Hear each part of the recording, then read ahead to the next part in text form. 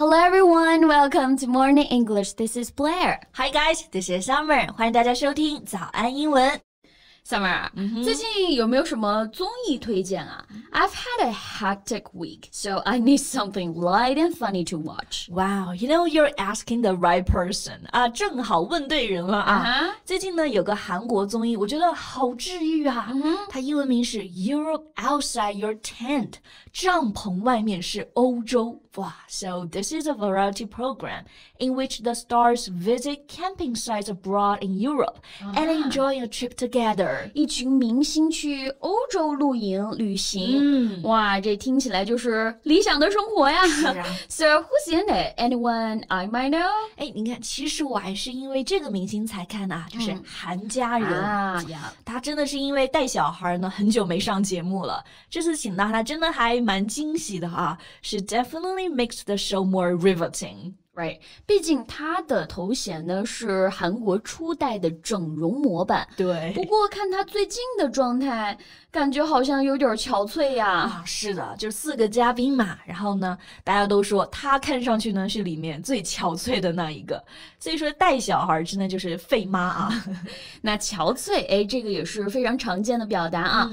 那我们就要问了，用英语要怎么说呢？对。So how about we make it the topic for today's show? Good idea. Let's get to it. 那讲到憔悴，有个很地道的表达啊、mm-hmm.，to feel peaky. Mm. Peaky, P E A K Y, meaning you are ill or sick or pale，尤其是指一个人的这种脸色苍白、病殃殃的样子。对，这个搭配呢，可以是 to feel peaky，也可以在 to be 后面加上这个 peaky。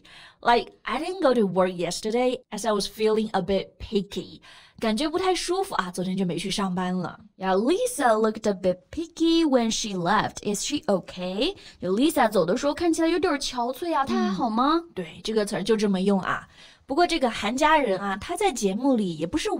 peaky 啊，他不是因为不舒服而憔悴。I think it's more about exhaustion for life, for taking care of her kids. 就是太操心的那种疲惫啊、憔悴。So what word can we use here? Here's a good one. Worn. W O R N. Worn. 这个词呢，就是 wear 穿那个词的过去分词。那在这里呢，是相当于做一个形容词词性了。本意就是表示用旧的，或者我们说穿破的。经常说一一条破旧的牛仔裤，an old pair of worn jeans。哎，那用来形容人，就是说因为太累了，这个精疲力尽的感觉、l o o k i n g very tired。所以这个词啊，worn 确实用来形容韩家人那种状态会更合适啊。So we can say she looked thin and worn on the show, nothing like the way she used to be. 而且这个用法还有个形式啊，可以说 worn out，、就是在后面加上一个 out，是一样的用法。Like after a long day, you would say, "Can we sit down? I'm worn out."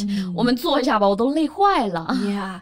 Yeah, like after you play with the kid for a whole day, you would also feel worn out. 对，而且我记得看韩佳人说过啊，她是那种袋鼠妈妈，mm hmm. 就是会花很多时间照顾小孩儿。She's like a kangaroo mother, spending a great amount of time parenting, educating, and catering to her kids' needs. -hmm. So in other way, we can say she's born worrier. Yup.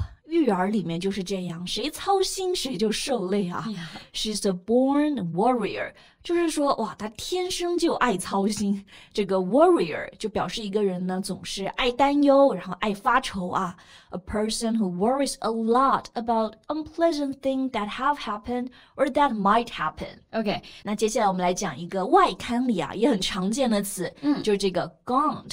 G A U N T gaunt，它也可以表示憔悴啊，meaning very thin, usually because of illness, not having enough food or worry，就是因为生病或者饥饿或者是忧虑呢 导致的憔悴。对，那这种憔悴有一个面部特征啊，就是眼袋比较大，like he had big bags under his eyes and he did look gaunt。对，而且像医院里面很多病人呢，那也是一样，就是看上去就是很憔悴啊。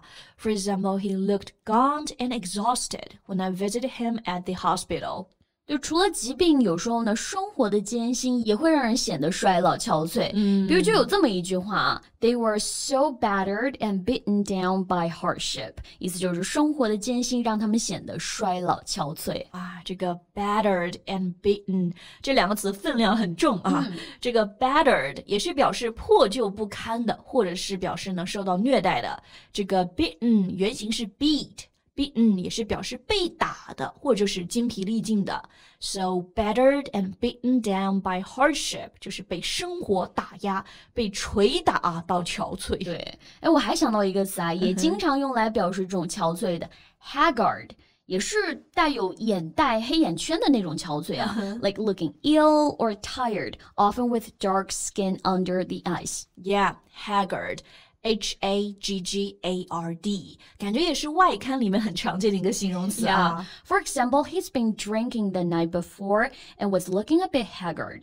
他前一天晚上喝了酒啊，看起来就有点憔悴了。嗯。OK，那你看，我们前面讲的呢都是形容词，嗯，其实讲的这个憔悴啊，也有一些动词词组可以用，比如就这个啊，pine。 away pine 啊，是松树的那个 pine 吗？对，这个 pine 做名词是松树，但是做动词呢，意思就完全不一样了。它表示的是呢，to become very sad because somebody has died or gone away。所以这个动词词组 pine away，meaning to become very sick and weak because you miss somebody or something very much，是因为思念或者是疾病啊，导致你的虚弱憔悴。For example, after his wife died, he just pined away. 啊，妻子死后呢，他就日渐憔悴。Yes.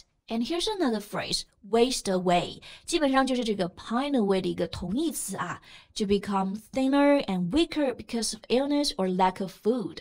就比如说疾病让他日益憔悴。 The disease caused her to waste away。哇，这真是不总结不知道啊！讲到憔悴，原来有这么多的表达。对，又有形容词，又有词组啊！所以下次呢，大家如果见到身边的人憔悴了一把，就可以把这些表达用起来啦。Hello, welcome to Morning English。早安英文呢是一个为大家免费提供英语教学的频道，每天都会更新。如果你想获得关于英语听说读写的内容，我们都会在这个频道更新。我们的目标是帮助全球的华人学好英语。如果你觉得还不错的话，记得给我们订阅哦。另外，点开小铃铛，这样的话就不会错过其他任何学习视频啦。对了，如果你想获取本节课的完整版笔记，在视频简介或者评论区领取哦。你也可以给这个视频点赞，点赞就相当于自动保存啦。Okay, and that's all we have for today. So thank you so much for listening. This is Summer. And this is Blair. See you next time. Bye.